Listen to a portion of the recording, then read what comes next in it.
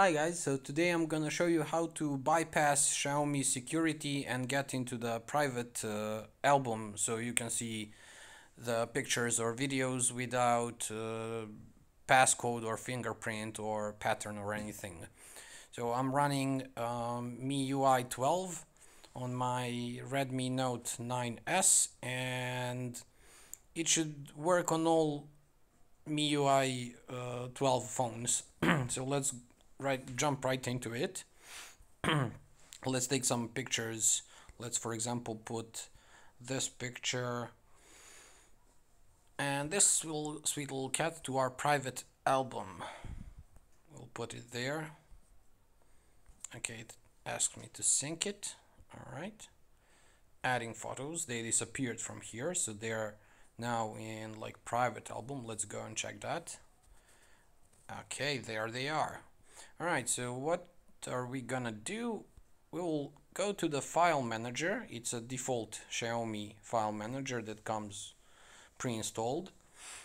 First things first, go to the three bars on top left corner.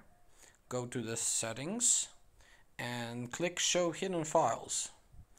After that, we will search for our hidden folder it can be on your internal storage or SD card. In my case, uh, it is on my SD card and we can just type gallery.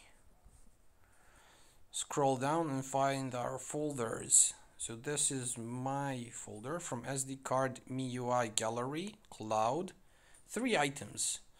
Okay, and then we have dot secret album. All right, and these are those two pictures that we talked about that we we, we hid. So we can see the end of the of the file name .img for image. So for example, let's click on it. We will select the type, images, and we can select with which one to open it. And there we go. We got it. And now we can even share it we don't need any any fingerprint or pattern or passcode. Let's go to this one.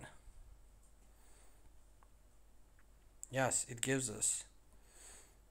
Then that's it. Here we don't have that. We need to go like this and then we need to unlock it. I just unlocked it with my fingerprint